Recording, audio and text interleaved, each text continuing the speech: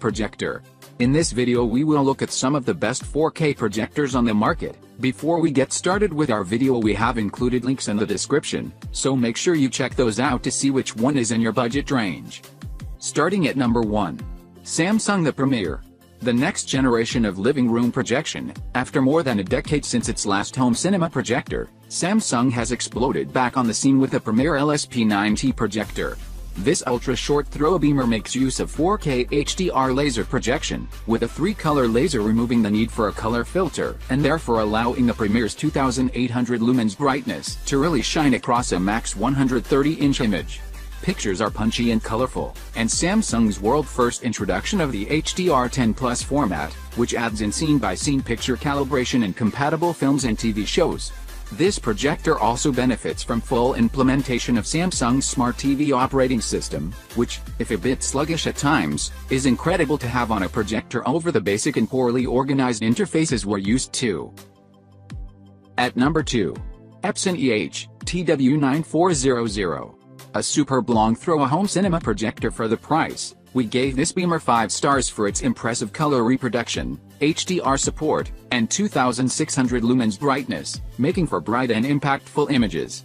While this isn't a native 4K projector, something you just don't get at this price, even upscaled images are detailed and come across well, with highly natural skin tones and an impressive amount of shadow detail. Blacks could be deeper, and motion could be smoother, but there's really little to complain about here. The EH TW9400 boasts advanced capability all around, from its 3D compatibility to motorized lens controls, the latter point allowing for real precision and an easy setup. There's even a lens cover to prevent dust from creeping in. At number 3. XGIMI Halo.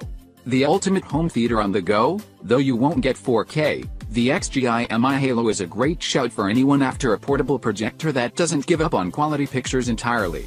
This stylish, compact, and capable projector is easy to take with you on the go, with built-in 5W speakers and 1080p Full HD resolution to offer both sight and sound. You're getting 800 lumens max brightness while plugged in, though this does drop to 600 lumens when running on battery, fine for dark, outdoor settings, though you'll undoubtedly fare better with the former setting. Regardless, the battery life is long enough to watch an average-length movie. There's no native Netflix support, sadly, something that also plagues the XGI MI Horizon Pro, but complaints are few and far between for the Halo. At number 4. Benq TK700 ST. High frame rate HDR gaming on your wall. If you're looking to lay a big load of cash on a projector, you can't go wrong with a Benq TK700 ST. If you're buying it for gaming, then that endorsement is even stronger. This unit supports 4K at 60Hz with an unsurpassed 16 milliseconds response time at that resolution, which is as low as response times get in a native 4K projector. If you want up to 120 inches of bright, crystal clear game on your wall or screen, this sets a new benchmark. You can also push to 120 Hz if you're happy settling for HD output.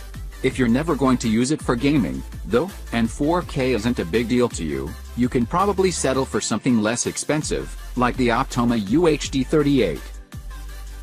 At number 5. Anker Nebula Capsule II Mini.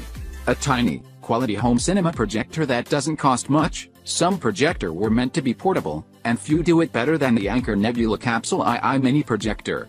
About the size and shape of a can of Coca-Cola, the tiny projector looks more like a battery pack for a piece of AV equipment than an all-out projector, but those looks are deceiving. The Capsule II is very capable for its size, offering a 720p HD resolution and strong audio output, and a noticeable improvement on 2018's Anker Nebula Mars II, even if it can't compete with the more premium 4K HDR models listed in this guide. Given its size, we were pleasantly surprised to find a fully sized HMDI port, too, rather than the mini HDMI alternative, as well as a USB port and USB-C charging port, allowing you to power the projector while connecting to a streaming stick like the Roku Express or Amazon Fire TV stick. Thanks for watching and that's all for now I hope to see you guys in the next video. Till next time see you guys later.